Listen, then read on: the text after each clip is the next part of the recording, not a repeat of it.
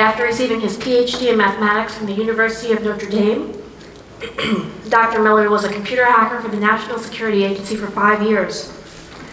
Since then, as a consultant, he worked with Twitter's information security team, has won the Super Bowl of computer hacking four times, and has found countless vulnerabilities in Apple products, including their laptops and phones. Currently the senior security engineer at Uber's Advanced Technology Center, Dr. Miller has made waves within the field of automotive security, excuse me, for his work alongside research partner Chris Valasek. He also spent considerable time revealing weaknesses in the field of automotive security, which led to the recall of 1.4 million vehicles. He's been featured on leading media outlets including CNN, the New York Times, USA Today, and Forbes. And now he's here at ARM TechCon. Please join me in welcoming Dr. Charlie Miller.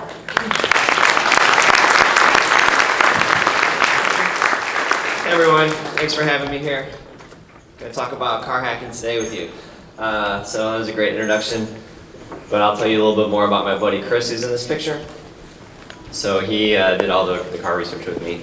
And if you look really close in the background uh, of this picture, you'll see a Toyota Prius that we just bricked and it's stuck on the road. And that was Chris's way home, and that's why he's looking kind of unhappy in this picture.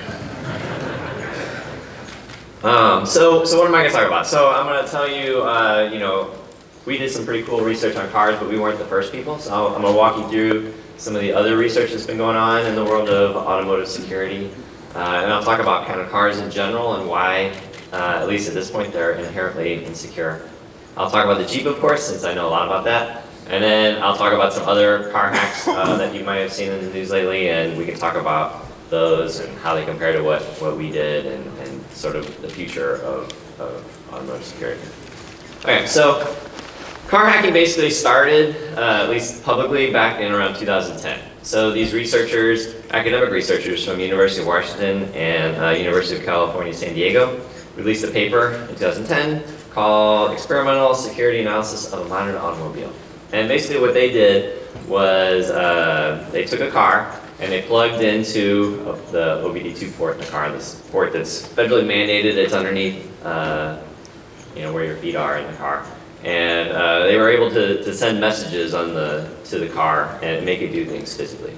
Uh, so they were able to do things like um, control the brakes and uh, control like silly things like windshield wipers or locks or something like that. And so uh, it was sort of the first paper in, in, that made you think, oh my god, like there's a bunch of computers in my car, right? Until that time, at least I didn't even know that, that there were computers and networks in cars, right? It was like, this is the thing that took me from point A to point B. So this was like a pretty cool paper, but it was not well received. So this is one of the authors of the paper responding on Twitter to some comments. So uh, the academic world and the computer security world, um, their response was, well, sure. If you're plugged into a car physically, you can control the car, right? And it's just like if I had physical access to a car, I could cut the brake lines or you know put a bomb or whatever, right? So uh, the the general response was like, this is this is interesting, but in the end, it's not really. We don't really care. And so uh, this guy's response and the academics' uh, response in general was like, oh yeah, well we we'll show you, right? Uh, we can do this remotely. And so they did. So the very next year they released another paper. This one uh, was called, in typical academic fashion, Comprehensive Experimental Analysis of Automotive Attack Surfaces. And so what this was, was the same car, this time they attacked it remotely. And then they were able to send a message to control things like the brakes and so forth. So uh, they actually showed three different ways that they were able to get code running on the car. Uh, the first was through Bluetooth. So almost any car nowadays has a Bluetooth connection between like your phone and the car. And this is what allows you to do hands-free uh, or you know pipe music from your iPhone to your car or whatever. But the point is there's communication from the outside world going into the car through this Bluetooth interface. They found a buffer overflow and they were able to exploit this uh, through the Bluetooth interface and get code running on the, the, the radio of the car and then they were able to control things like the brakes. Um, another way they did it and this is kind of clever. They took a CD and they put a malicious MP3 file on it, and if you put it in the CD into a regular radio, it would just sound like music. But if you put it into their radio in their car, there was a vulnerability. They exploited it uh, to get code running. So uh, it was, uh, you, know, you hear these stories about dropping USB sticks outside of a, a company to try to hack into their systems. Well, you could just drop CDs outside of a car lot or something and hope someone would put it in their car. Um, but the, so the Bluetooth was kind of cool, but the bad thing about Bluetooth attacks is you have to be within, you know, 20, 30 meters for it to work. But the one that they found that was the most devastating was one through OnStar. So OnStar is a system in, in you know, certain cars that allow you to call for help or allow the, the OnStar people to like, you know, do something to your car, like unlock your, your, your locks if you, if you leave your keys in or whatever. And so they were able to find a vulnerability in the OnStar system where they could basically dial into the car remotely from anywhere uh, and take control of it. So that, that was pretty scary. And uh, the way they did it, I don't have a video of this, but it was really funny. Like there was a, a, you know cellular modem essentially in the in the head unit in the, the OnStar system, and uh, they they found the phone number. They essentially dial it up with a real phone, and then they have a speaker, and they put the phone up to it, and it's like you know making these modem noises, and they were able to compromise it that way. Right out of a 80s TV show. Um, but anyway, here is a video of of them and their uh, their attack. So, so they're uh, out there on a test track. He's going to remotely exploit the OnStar vulnerability and then send messages to the brakes um, to, to tell the brakes to engage. And you'll notice the academics are a little more safe than us. They're on an actual track with a helmet and everything. My research is not quite as safe.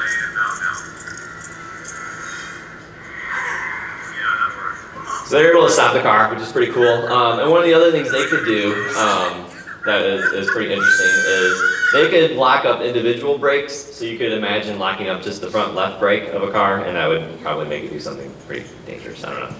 Um, so, so, so I read this paper, these two papers, and I was blown away. I thought this was really cool. It's something I wanted to do, and uh,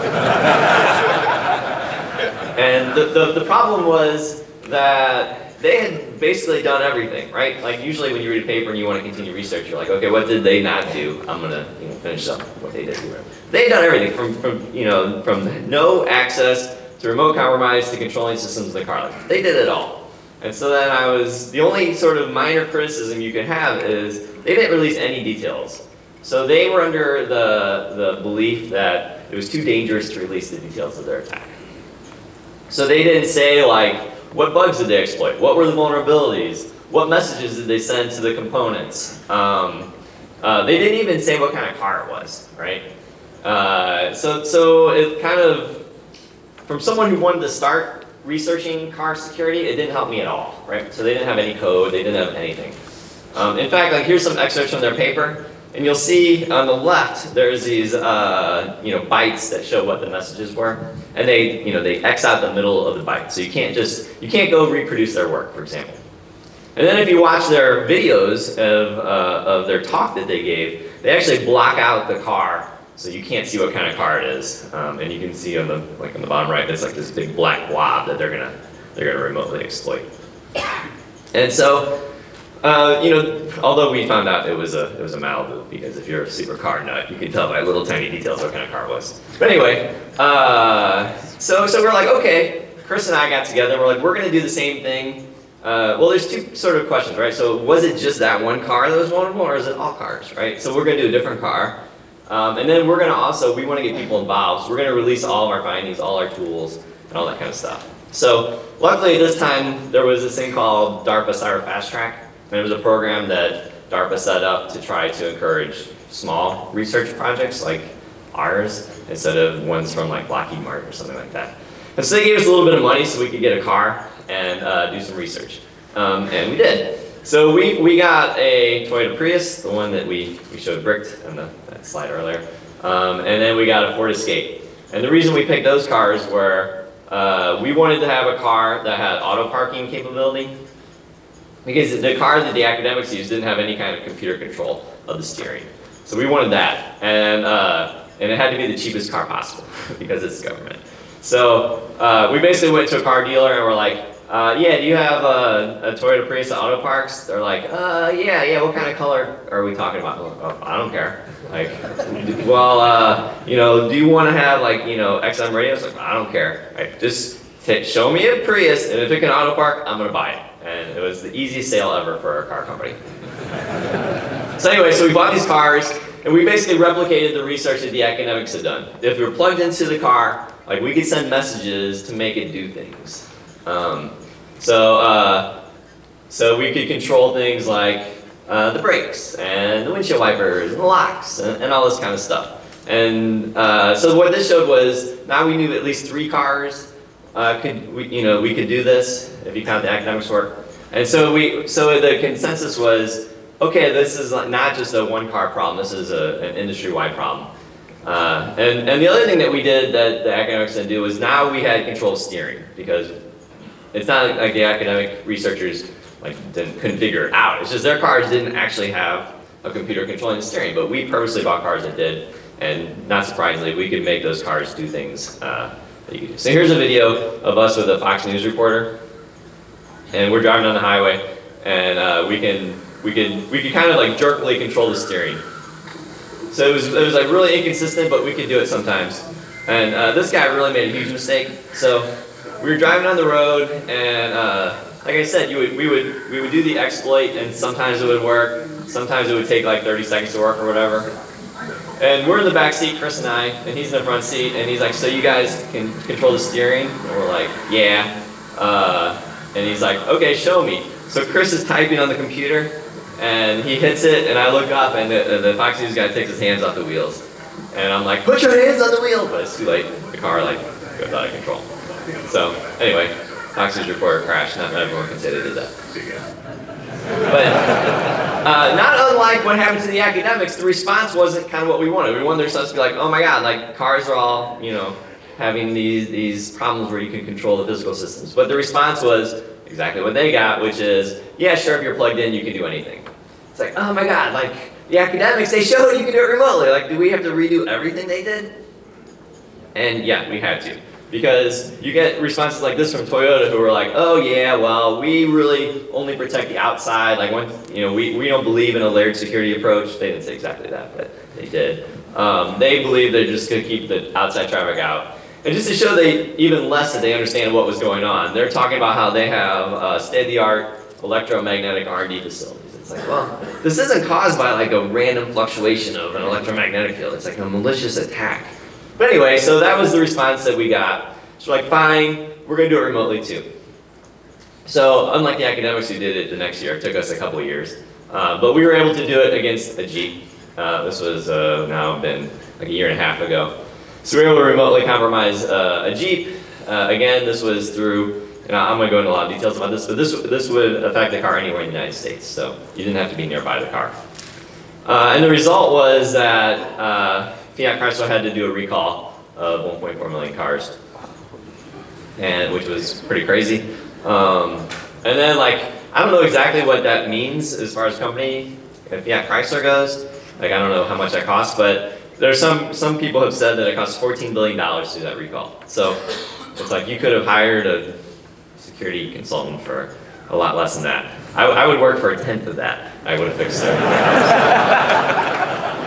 and then like just instead of just picking on them, there was like other good things that came out of it, like there's a you know poss- there's some talk about passing some laws that, to, to manage that, and NHTSA has created really recently this cyber security best practices for cars that they want companies to follow. So there's like good that came out of this as well.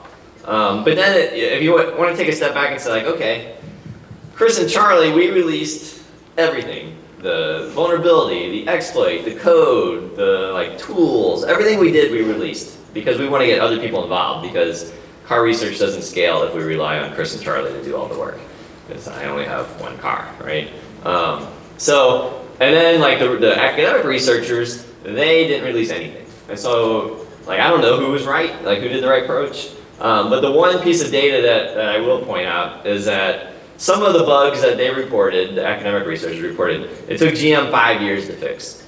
Um, for us, we gave Chrysler nine months of advance notice and told them, uh, hey, on this date we're going to release no matter what you do. And they didn't. They, they kept saying they were working on it, but they never really did anything that we could see. Uh, but then, as soon as the Wired article came out, where we showed we could remotely compromise this car, like within a week it was fixed, or at least the recall happened, I should say. So, uh, in, in, my opinion, that was the approach that got the the, the, the people most protected the, the quickest. All right, so we didn't stop there. That was in 2015. The next year, this last summer, we continued our research. So in 2015, we were able to remotely compromise the car, but we had only limited control of what we could do to the car. Uh, we could we could control the steering, but only if you're driving really really slow. Um, and there's some other restrictions, like we could control the brakes if you're driving really really slow. So we wanted to see like how far could we have taken the attack, and we'll, we showed that we could actually control uh, the steering and the braking at any speed. So here's a video of, of that. Where, this is me controlling the steering of the car. Again, we're in a test track, just like academic researchers. Oh no, wait, this is actually a, a school parking lot, sorry. So anyway, so we're able to control the steering of the car no matter how fast you're going. Um, so that's kind of, uh, you know, the, you can imagine the end, the end, to end attack of set, compromising something and, and following all the way through to controlling the steering. So it's, pretty scary stuff. So it begs the question, like, why do we all have these cars that are vulnerable, right? Like, why, why did it take these academic researchers or, or me, Chris, or whatever, to point this out and, and get the industry thinking about it? And it goes back to a problem that we have a lot with security, is that we build these systems and, and for a long time we don't think about security because we don't need to. And then all of a sudden we flip some switch and security becomes important, but we can't flip a switch and turn the security on. So, so cars did this too. So at one point in, in time, cars were just these things with wheels and engines and they took you places, right? Um, but then we started adding features to them. So we added more and more things to them. So like windshield wiper, right? How does this work? Well, you got this little stick on your steering column and you turn it on, or a button or something, and there's a wire that runs to a little motor that turns your windshield wiper. Okay, like, how else would you do it? It makes perfect sense. Uh, and then you want to add more things like turn signals. So how do you do that? Again, you got this little stick on your steering column, and then there's wires that run out to the four corners of your car that control little lights that turn on if you want to turn to the left or the right or whatever. And again, you keep just adding more and more features, and you got a sensor that detects how fast your wheel's going, and then that is a wire that runs up to your speedometer and it removes a little needle or whatever on your speedometer. So all these by themselves are fine, but what happens is as we add more and more features, you end up with wires running all over the car.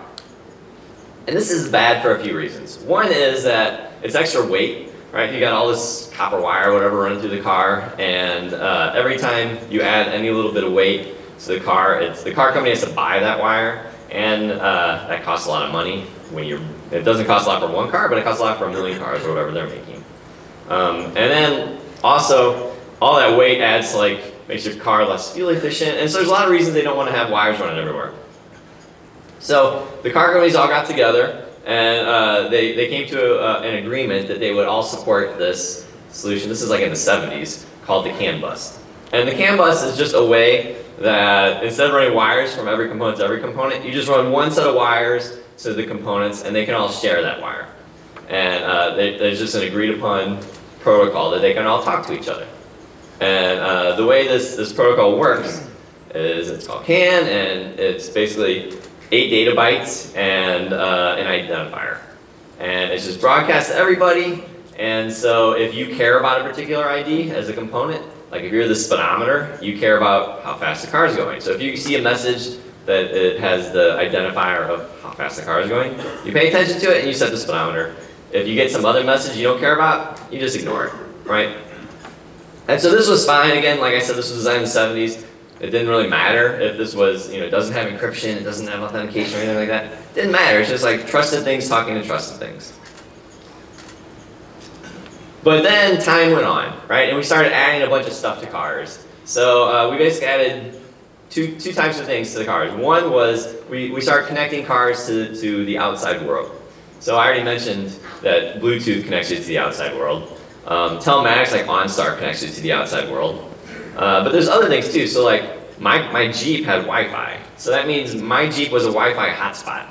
Um, which means that if which was cool. Like when my kid wanted to sit in the back seat, and, you know, play Wii or something. Not Wii, but DS. I'm so old. But anyway, uh, play with their stuff on the internet. They could do that from the back seat. But that also meant that my Jeep was on the internet, and also my Jeep was, you know, could be attacked continually through that Wi-Fi hotspot too. So, so there's Wi-Fi in some cars, um, but most cars also have uh, these wire wireless tire pressure monitoring systems. So this is a sensor that's in your tire. It's it's telling the car how much uh, pressure is in your tire, that way you know if you're getting a flat. And so there's all these outside signals coming into the car. And each of these outside pieces of you know, data sources are, are a place where code can have vulnerabilities and uh, it can lead to, to compromise from the outside world.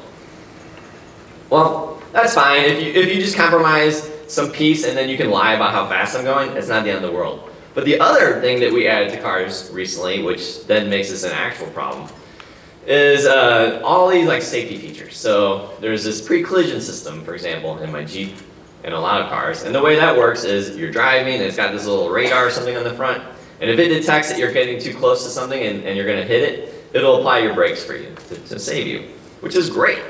Um, it's gonna save you a lot. But the problem is then that means there's a computer somewhere that can turn on your brakes, right? Uh, likewise, there's a feature called, well, you already heard that I was interested in auto parking. So this is a feature where you press a button and the steering wheel turns and it'll park you into a parallel parking spot. That's really convenient if you don't know how to drive your car very well, but it does mean that there's a computer somewhere that can control your steering wheel. Um, and, and there's other ones, so adaptive cruise control. That is like regular cruise control, except instead of having to hit your brakes every time you're about to hit someone, the car will slow down for you. So there's computers that are in charge of how fast you're going, how whether your brakes are on, your steering wheel. And so now you can, again, imagine chaining all this together where you've got input from the outside world that could, that could compromise some component that, that, that then can talk to other components, and those other components may control features of the car that affect physical safety. So it's, it's you know, end to end, it's kind of a nightmare. And then you, you get to the point where cars even have web browsers in them sometimes. And it's like, we don't, I, I work in computer security for 10 or 15 years.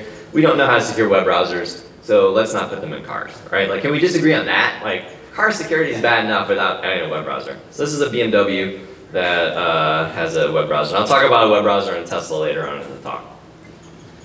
That becomes problematic. All right, so I mean, cars basically suffer the same issues that all Internet of Things type devices have, uh, which is they're, they're designed for you know, trusted components and everything was great. And then we, we were like, okay, I want my trash can to be on the internet now for some reason. And uh, oh no, like there's a security issue, right? It was shocking. So it's, it's the same thing. Like as soon as you open up something that was all designed to be uh, trusted components onto the internet, there can often be a problem. So let's talk about the Jeep uh, in more detail since I know a lot about that. Uh, this is what the inside of my Jeep looks like. And again, like you definitely realize that thing in the middle is a computer. That's the thing that has the navigation system and it has like the radio and all that kind of thing. I mean, it looks like a computer. But as I mentioned, there's actually like 40 or 50 computers in your car. There's a computer that controls the anti-lock braking system. There's one that controls the airbags. There's one that controls, uh, I don't know, the transmission, right? So there's all these computers and they're all talking to each other. But the one, this one in the middle, it's called the head unit. That's the main one that that is, is important because that's the one, at least in the Jeep, where most of the outside data in the world goes to.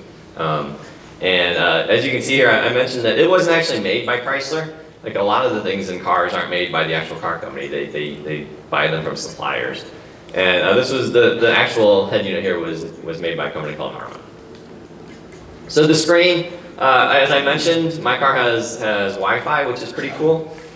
Um, this is what it looks like. Uh, we, we looked at this and uh, I found a vulnerability in it in the way that it processes uh, outside our data from the outside world. And just to show you the kind of security it had, um, I was, like Chris and I, when we did this project, we're like, I don't know, what's it going to take, like a year to find, even to write a remote exploit, you know, and, and send messages to a, to a Jeep or whatever.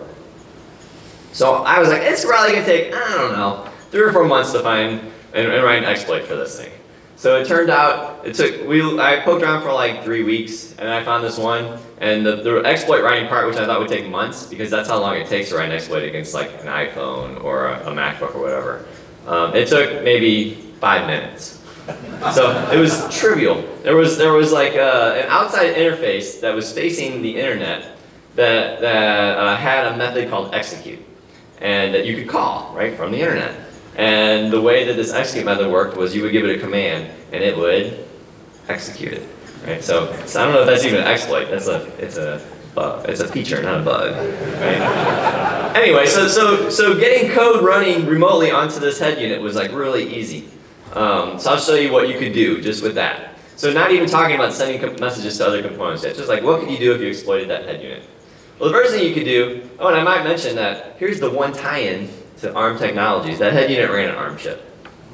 Um, but it wasn't it wasn't ARM's fault. It was it was the the code that was written on top of it. It wasn't even so it was a it was running an ARM chip. It ran QNX. It wasn't even their fault. It was the code that uh, Harman had added onto that that had the problem.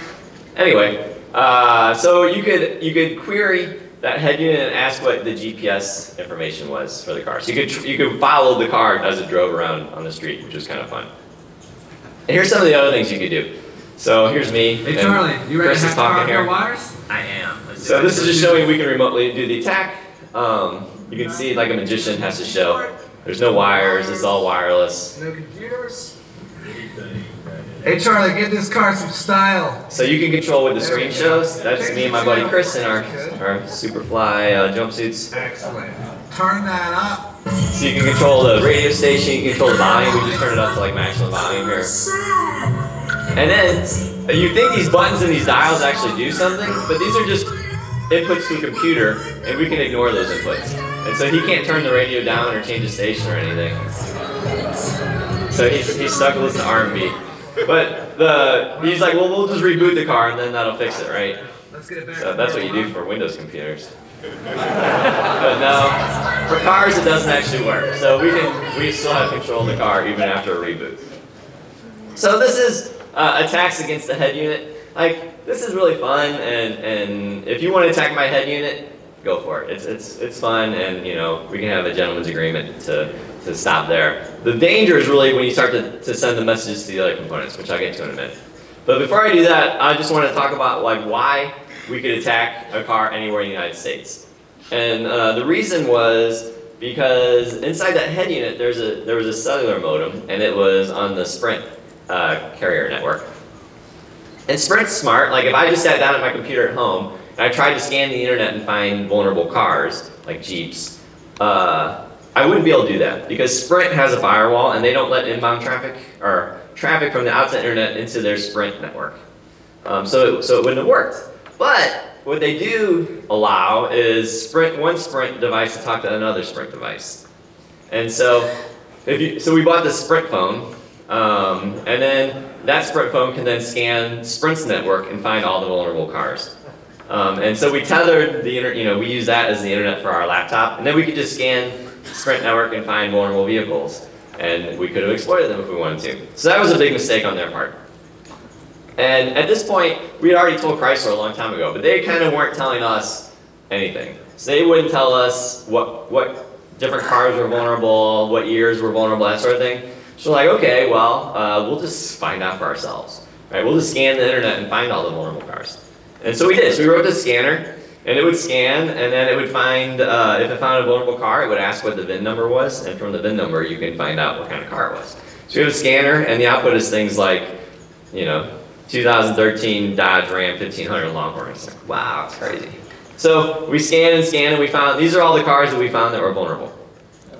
Um, and some of the interesting things to point out is at the time, uh, Chrysler was saying it was only 2014 cars that were vulnerable, but as you can see, if you actually look at the data we found, we found 2013 cars and 2015 cars that were vulnerable.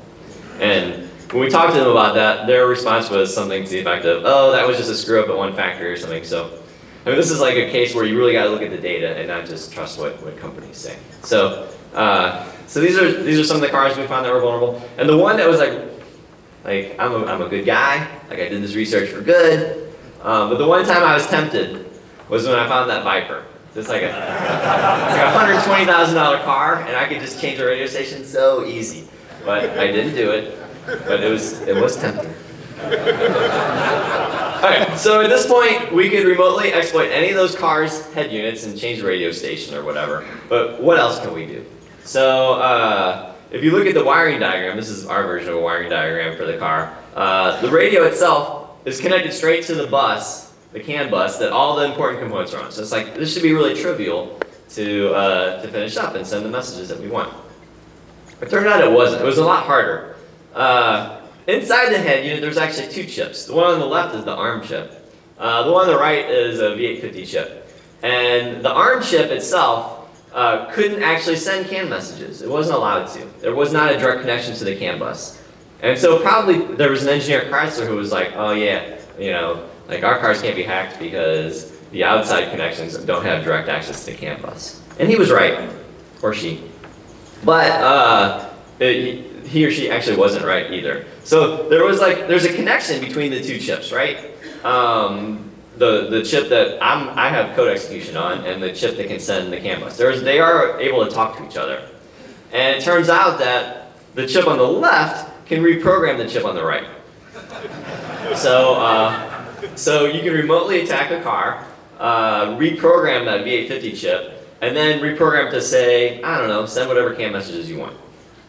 And that's exactly what we did. And this was another mistake that Chrysler made, that they should have only allowed signed firmware images from Chrysler. They could have verified that all that code only came from Chrysler, but they didn't, so we changed it to do whatever we wanted. Um, the bad thing is, like if you're exploiting something, it's one thing because usually if you just return the car, you, it'll fix itself if you mess something up. But if you're reprogramming the firmware of a chip and you mess that up, it's really bad. And that's what happened a few times. So I would, I would screw up reprogramming that second chip, break it, and then my head unit wouldn't work anymore. And then what are you going to do except go to the dealer? So here I am at the dealer.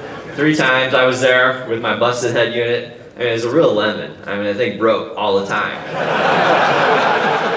uh, but they, they were very nice. They fixed it up and got me back on the road. And then eventually I figured out how to program it without messing it up. Um, so, thank you, Chrysler, and their warranty system. so eventually then, we could remotely attack the car, reprogram that second chip, and then send CAN messages to the other components of the car. So here's an example of what we could do. Uh, we can make the brakes not work. This, so my buddy Chris here, he's gonna try to press the brakes here in a second. So he's pressing the brakes, so you can see we're not actually stopping. So, so this attack actually only works if you're going quite slow. So it's not, it's scary, and like if you were at a traffic light or something, you would go out into the middle of the intersection. So it's kind of scary. But it's not like you're driving down the highway and the brakes won't work, which would be even worse. So that was good on their part. They had, they had it actually programmed into the brakes not to uh, allow these kind of messages if you were driving faster than I think five miles an hour. Um, but as I mentioned earlier, we were able to, and they had the same sort of mechanisms for the steering. They have things built in to make it to where the steering wheel, you can't turn it while you're driving on the highway. Like, it knows you should only auto park if you're driving slow. But like I said, in that year from 2015 to 2016, we figured out ways to bypass all that. And so here, uh, here is like the worst case scenario for the Jeep. So driving down the down this country road, and uh, I take over the steering from Chris. He tries to keep it on the road, but fails. So we actually crashed off the side of the road there, which was, this is one of the fun things about doing car hacking, is we didn't really want to do that, but it was kind of cool that it happened, right? so we were stuck, we, so we, we were on this farm road, and there's this ditch on the side of the road, and uh, our car was kind of at a 45 degree angle stuck in this ditch, and we couldn't get out. We're like, now what do we do? And I was like, I don't know. And uh, this cop came by after a while, and he's like, uh, you guys didn't go in the corn, did you? I was like, no, no, we're just in the ditch. He's like, okay. And he just took off. So, yeah, thanks. But then eventually some other person came by uh, who, who pulled us out with his pickup truck, which was nice. And the, the other sort of funny part about that story is this road, I don't know if you can really see from that video, but it's like five miles perfectly dead straight. Uh, and nothing around, so there's no reason you should end up in a ditch on this road. And so the guy's like, you know, like, how'd you end up in a ditch? And we're like, eh, it's kind of a long story. He's like, I got you. Like, totally respected our, our privacy, and he was up for discretion in there. Um, so, uh, like, the first sort of takeaway from all this is like, why the heck are, is things that talk to the outside world connected to CAN bus? Like, let's just separate that, and that'll solve all our problems. Well, the problem is if you do that, you lose a bunch of features that you might want. And so one of these features is called speed compensated volume. And what that means is as you drive faster, the volume on your radio will naturally turn up to kind of compensate for uh, the actual, you know, extra wind speed and uh, wind noise and engine noise and stuff like that. Um, and the way that works is that means your radio has to know how fast you're going, and the way that it knows how fast going is it reads messages off the CAN bus. So if you want this feature, you gotta have it connected. Um, that feature's not that great, like I could live without it, but there's other features people really do want. And so if you live somewhere that gets cold, uh, you probably want this feature. So there's ways with your, your iPhone, you want to be able to turn on your car while you're sitting inside and let it warm up. And the way this works is you press a button on your iPhone, it calls up to some cloud service, it then calls down to the car, or the car maybe calls the cloud service, whatever. But eventually the thing that's talking to the internet in the car has to be able to tell the engine to turn on. And the way it does that is with the CAN bus. And so not only does the, the radio or the head unit have to be able to read CAN messages, it needs to be able to send CAN messages too. Or you lose features like that. And, and the one feature that I really actually like, and I don't want them to, to make go away, is this like feature where you're in reverse and you, you turn the steering wheel and it draws these little lines on the screen that show you, you exactly where you're going. Super cool feature. But the bad news is it means that it has to know what your steering wheel is up to. And the way it knows that is by reading CAN messages that the steering wheel is sending to, to the unit. So as long as we want these kind of features, and we're going to get more and more of these features, right? We're going to get even more connected to the world. There's going to be uh, vehicles communicating with other vehicles to know like traffic conditions, and vehicles talking to traffic lights and other infrastructure. And so we're going to get more and more connected. We're going to have more and more of these, these features. And so it's just not really an option to disconnect it. We need to just figure out ways to actually secure things and let things be connected still. Okay, so that was uh, Chris and I's work and, and the academics work. So what about other things you may have seen in the news, and, and let's talk about those just so that when you leave here, next time you see a headline about car hacking, you'll know exactly what they're talking about. So uh, one that was kind of cool is uh, this guy, Sam, Samy Kamkar's uh, OwnStar instead of OnStar. Uh, do you guys know Samy is a pretty cool researcher? He did the thing called the, the MySpace worm. Do you remember that? Anyway, I'll tell you what that is real quick. So in MySpace, which was, I don't know if you guys even know what that is anymore. Um, it was a thing like Facebook, um, but it had this, this feature on the side of your screen where it was like, my hero is, and you would put, you know, Def Leppard or whatever, whoever your hero is. Um, but he found this cross-site scripting bug that changed that. If you visited his page, it would change your page to say, my hero is Samy. And then if anyone visited your page, then you, their page would change to say, my, my hero is Samy. And so uh, after like very short amount of time, that's how exponential things work, everyone's page said, my hero is Samy, which is really awesome, I thought. But uh, MySpace uh, didn't think it was awesome, and he actually got arrested and went to jail for that, which was a bummer. But uh, now he's out and doing good guy research, uh, so good, good for him. Uh, but anyway, when he did it for this, this OnStar thing, and we see a lot of this kind of thing, is car hacking is like really hard. Like what I described to you that we did, uh, if you count all the way back to the, the Ford Escape and stuff, that was essentially four years. But just on the Jeep, we spent two years doing it. But something that people like me are really good at doing very quickly is looking at mobile apps. And so he found a vulnerability, and I mentioned mobile apps sometimes let you press a button and turn on your car or something. He found a vulnerability in the mobile app for, uh, for this OnStar service that it, they didn't use SSL or anything like that. So if he saw you press the button on your app, if he was on the same network, he could see your password or credentials go over the wire. Then he could do that later. So he could do, he couldn't send arbitrary messages on the CAN bus or anything like that, but he could do whatever your app was allowed to do. Like, he could remote start your car, he could lock your car or unlock it, he could turn on the horn and that sort of stuff. And so the vulnerability wasn't with the car itself, it was with the mobile app. So that's kind of interesting that it's like car hacking, but uh, you're limited to whatever you know, the mobile app can do. And the good thing about this is they couldn't really fix the Jeep very easily. Um, but you can fix this pretty easy because you just get a new version of the app downloaded to everybody.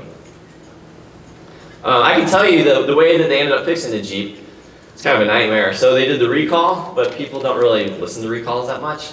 Um, they also mailed out USB sticks to people, so they would update their car themselves in theory.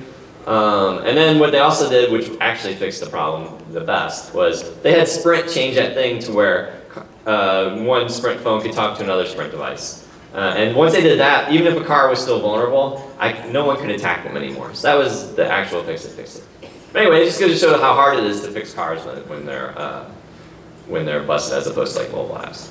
Okay, so another thing that's a problem is uh, old Flow here. It's like you, you can buy these dongles for, for different reasons, enterprise control, enterprise management, or for your insurance company, you plug it into your car, and then it sees if you're driving too fast or if you're applying your brakes too hard, it knows that, and it phones home to Progressive or whoever and says this guy needs to have like his insurance rate jacked up. But of course this means you've got something on the internet, it needs to phone home to Progressive, and it's plugged directly into an interface that both us and the academic researchers initially plugged into. So it's, uh, and it's probably not written by someone who's as good as, say, Chrysler, right? Um, and so some researchers, some of the academic guys again, some other guys from some other companies, they, they found three different dongles. They were all vulnerable, and uh, they allowed you to do whatever you want. So just like for us, like once you exploit that thing, you can send CAN messages, it's over. You can start messing with the brakes and steering and all that. So this is really bad. And of all the things that people ask me, like, hey Charlie, how do I protect my car? You know, I'm scared my car is gonna get hacked or whatever. Like there's not really anything you can do. It's not like you can download antivirus or something. But the one thing you can do is don't put these in your car, right? It's not worth saving 50 bucks on your insurance to have your car vulnerable to attack. Um, other things you may have heard about. So about the same time that Chris and I were doing uh, the, the, the, first Jeep attack, some guys uh, came out and they hacked the Tesla, right? But they didn't actually hack the Tesla. What they did was they took a Tesla and they ripped it apart and they got the firmware off it and they found uh, passwords that would allow you to like log into it or whatever. And then they found this other physical port that if you plugged into, you could log in. And then, so with physical access, they could plug in, and then they could control things. They couldn't send messages on the CAN bus. That was, that was uh, something they, they didn't know how to do. But they could do whatever the, the computer could do. So it's the equivalent of what we did with the, the first step of our attack, right? So we could control the radios. They could change the radio station. They could control the windows and the locks because they had buttons on there to do that. But they couldn't, for example, control the brakes, right? So this is, they, they've done basically step one of the two-step attack that's necessary to, to like do the really crazy, scary stuff. That's a good start. Uh, but it's just, it goes to show you, like when you read a headline that says Tesla hacked, like you really need to understand the differences of, car hacking and how that matters to know that this isn't the same threat that the academics or that, that we did against the Jeep. But these guys did do the same work. So this is pretty recent, like maybe a month or two ago. These researchers from China, they were able to hack the Tesla um, legitimately. So what they did was they found a vulnerability in the head unit uh, in the web browser. So Teslas come with web browsers. If you surf to uh, a malicious page in that web browser, they're able to get code execution. So this isn't as dangerous as the one that the other ones because the one that Chris and I did, we could just scan the internet and find them and attack them, right? It didn't require the user to do anything except have the car on. Um, here you have to have the user do something, so it's not as scary in that sense. But the thing they did do was they were able to then do that second step. They were able to do exactly what we did. They reflashed this gateway module that then allowed them to send CAN messages, and they were able to do things like control the braking, or uh, I don't know if they did the steering, but they probably could have. So they, they did the end-to-end -end attack just like we did, except that uh, there's required some user interaction. Um, just to show the difference, so what Jeep fixed when they fixed our vulnerability was they essentially just shut down the services that had the vulnerabilities, right? Which is fine. But they didn't ever fix, as far as I know, that second piece, the code signing piece. So if I could find some way to hack a Jeep, I could still do that reprogramming and send the messages. What Tesla did, which was better, was they actually changed that second piece to where you had to do the code signing, right? So now these, these uh, Chinese researchers, if they were able to find another web browser vulnerability, which I'm sure they can because the web browsers are full of vulnerabilities, um, they could no longer do reprogram that gateway because it has to be only be signed code by Tesla. So that was a, a much better fix. And the other thing Teslas do that's really cool is they can actually auto update over the air. So Jeep had no way to fix all the vulnerable cars. They, they, were, they had to send out recalls that said, hey, bring your car in, get it fixed. But Tesla can actually just push out updates over the internet to the cars and fix them all overnight if they want to. And that's what they did. They, they pushed out this fix that required code signing to all the cars. So pretty cool. Um, some other things you might have heard about in the news, there's this hack against Nissan Leafs. So again, this was more of a mobile app kind of vulnerability. So uh, there was a mobile app, and it you authenticate to a server, and then you could do things like turn on the heater or uh, heat the seat or whatever like that. The problem here was it wasn't an SSL issue like Samy's. It was that the password, the authentication to the server was the vehicle vehicle identification number. And so if you know anything about cars, you know if you want to find the VIN of a car, you just walk up to it and you look through the windshield and it's written right there. So if you saw a Nissan Leaf, you could just read the VIN and then you could log in as that owner and like turn on the heated seats, for example. Which is, I mean, it's sort of fun, right? Uh, the only problem was with Nissan Leafs is it's an electric car. And so if you were like to overnight turn on someone's heated seat when they woke up the next morning, their car like wouldn't start. because it's dead, like it's out of batteries. So that's, that was like a denial of service against the car right there. but it wasn't physically dangerous, right? You couldn't send messages to the brakes or anything like that. But it's, it's sort of fun, and I think we're going to see more and more of these kind of attacks because it's relatively easy to find these. Um, you might have read articles about all these cars getting stolen, right? These high-tech hackers are stealing cars. And at first I read, you know, just like you, I read this headline, I'm like, whoa, like what did they do? They like remotely attacked the car and like unlocked it and turned it on, like that sounds really cool. But if you read the details what it is, it's not as cool. So what the way that these attacks work is someone who works at like a dealership or something gets a gets the software that they use to reprogram keys. So like if you lose your key to your car, you can go to the dealer and they'll give you a new key that works, right? That's they have software that will program keys for you. So someone gets a hold of that software, they go to your car, they find out what the VIN is or whatever. They repro and they have a spare key. They reprogram the key with that software, and then they can just open up your car and drive away.